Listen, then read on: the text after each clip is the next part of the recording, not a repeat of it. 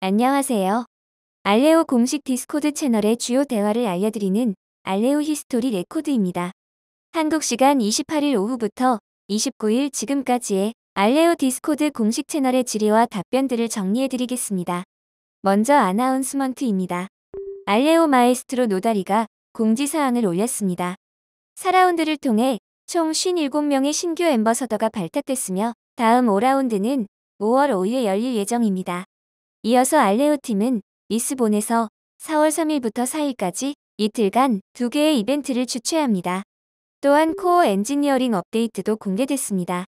스나크 VM의 usize 직렬화 8바이트 보증과 레오 컴파일러 덱 사용 가능 및 해제 설정 등을 도입했습니다. 더불어 스나크 VM의 레코드 수에 대한 제한 제거 기능, 레오 코드 품질 구성 업데이트 등을 진행 중이라는 설명입니다. 다음은 testnet 3 support입니다.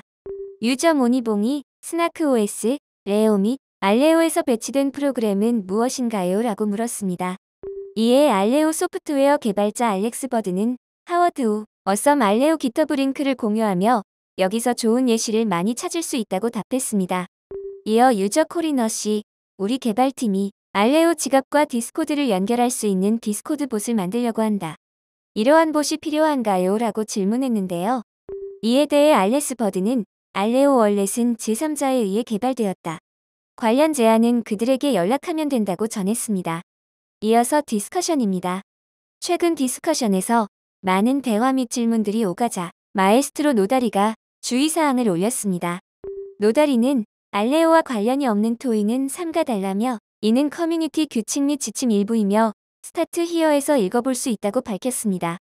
이어서 그는 단순히 인사말을 남기고 싶다면 GM N GN을 참고하기를 바란다고 덧붙였습니다. 이어서 트윗입니다. 알레오 팀이 testnet 3 업데이트 소식을 전했습니다. 현재 알레오 faucet을 통해 발행된 크레딧 수는 총 40만 6천 개이며 배포된 알레오 애플리케이션 수는 13,000개로 집계됐습니다.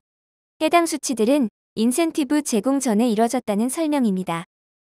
오늘의 요점 정리입니다. ambassador 프로그램 5라운드는 5월 5일에 시작됩니다.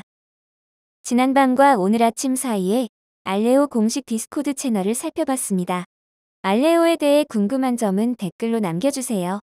검증된 내용과 팩트를 찾아서 알려드리겠습니다. 저희는 월요일부터 금요일까지 매일 오후에 찾아오겠습니다.